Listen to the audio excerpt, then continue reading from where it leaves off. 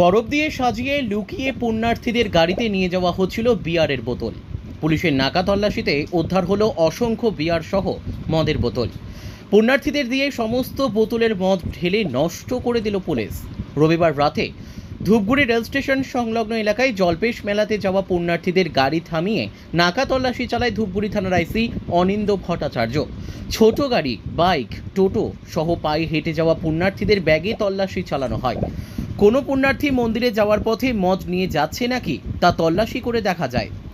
তল্লাশি চালাতে গিয়ে অবাক হয়ে যায় পুলিশ কর্মীরা। দেখা যায়, একটি পুণ্যার্থী বোঝাই পিক আপ ভ্যানের মধ্যে বরফ দিয়ে বাক্সে প্রচুর বিয়ারের বোতল সাজিয়ে রাখা রয়েছে। সমস্ত বিয়ারের বোতল পুণ্যার্থীদের দিয়ে খুলে নষ্ট করে দেওয়া হয়। অনেক গাড়ি থেকে দামি দামি মদের বোতল উদ্ধার হয়। সেইগুলিও নষ্ট করে ফেলে দেওয়া হয়।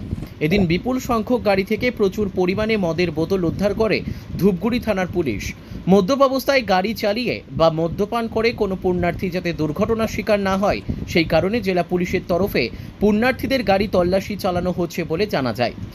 উল্লেখ্য, শ্রাবণ মাসে পূর্ণ অর্জনের জল ঢালতে জলপাইগুড়ি জেলার ময়নাগুড়ির শিবতীর্থ জলপেশ মন্দিরে আসেন। এর আলাদা ঐতিহ্য রয়েছে। প্রতি বছর এমনকি সারা বছর দেশ বিদেশের ভক্তরা এখানে আসেন জল ঢালতে। তবে শ্রাবণ মাসের প্রতি সোমবার লক্ষ লক্ষ পুণ্যার্থীর ভিড় উপচে পড়ে জলপেশ বাবার মন্দিরে। ধূপগুড়ি থেকে অনুপম চক্রবর্তীর রিপোর্ট, আমাদের টিভি।